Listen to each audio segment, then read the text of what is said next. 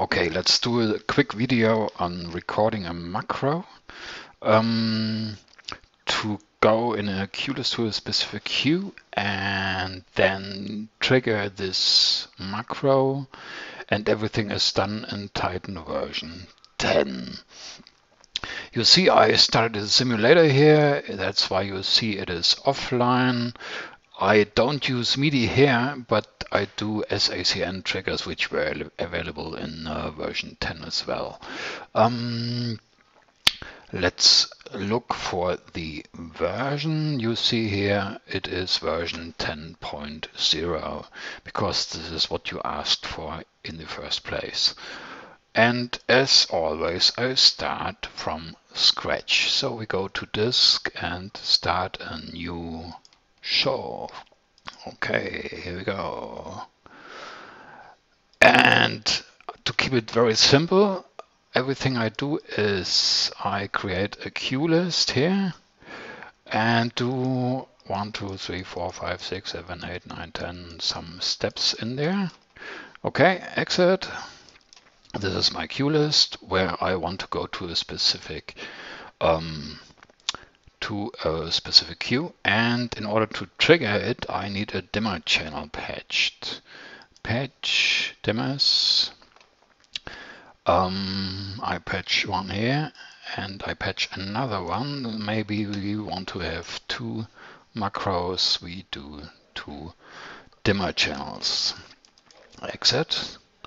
Um, now we do um, two cues um, this one at 100% and record it.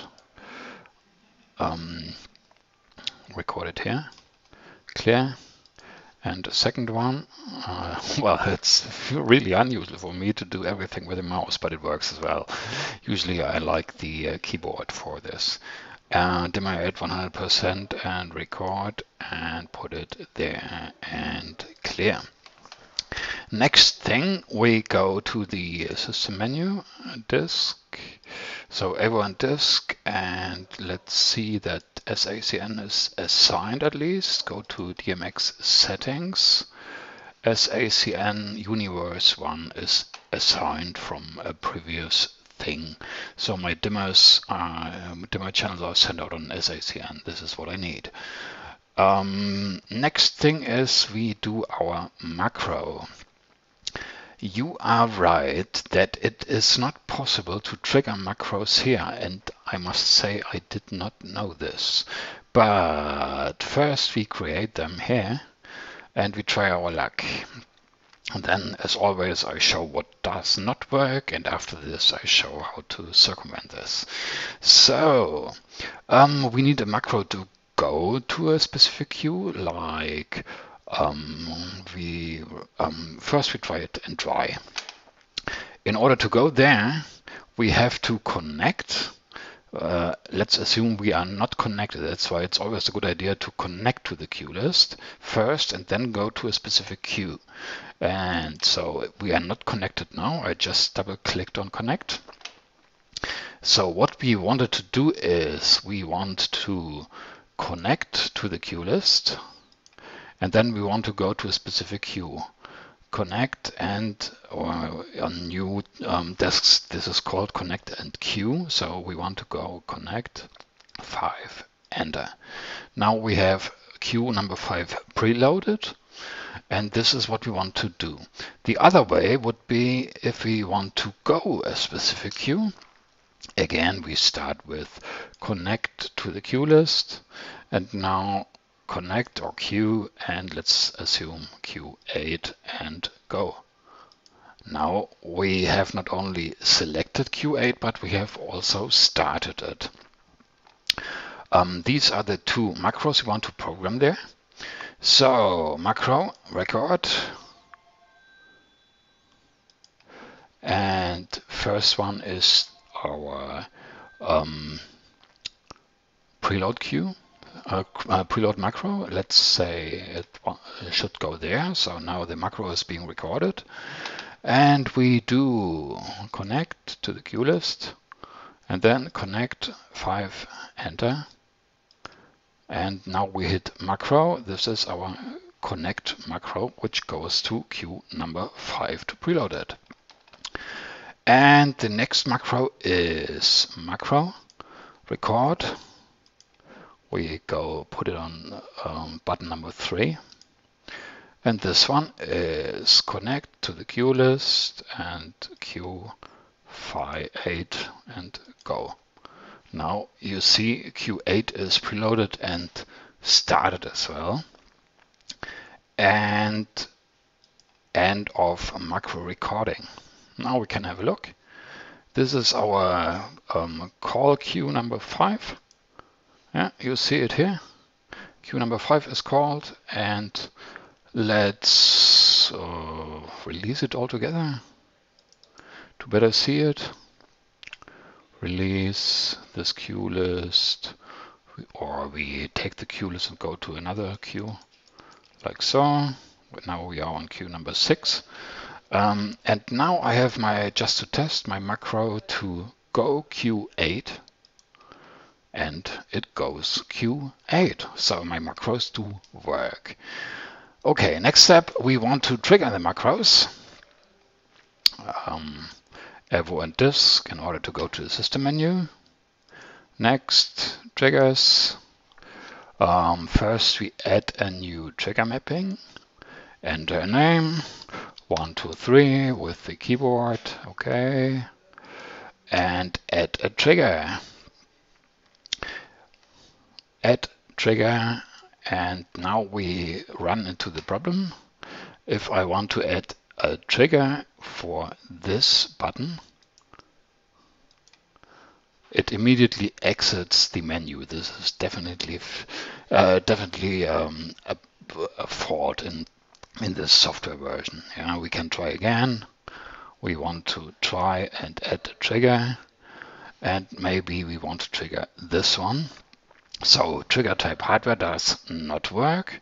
Now we want to uh, try the other way trigger tag item and put it here and it doesn't even register it so it doesn't work at all okay so this does not work but what does work is if we first move the uh, the macros into another window.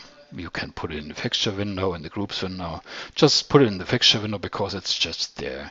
So move this macro here and move the other macro, this one here. Okay.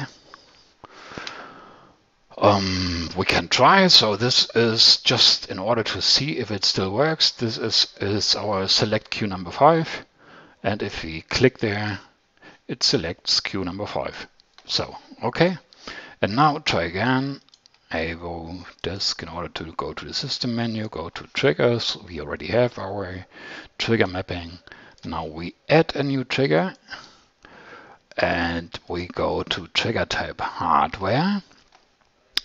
We want to trigger this button and now it works because it triggers, it hardware triggers button in the fixtures window touch number 9. This is what I have here.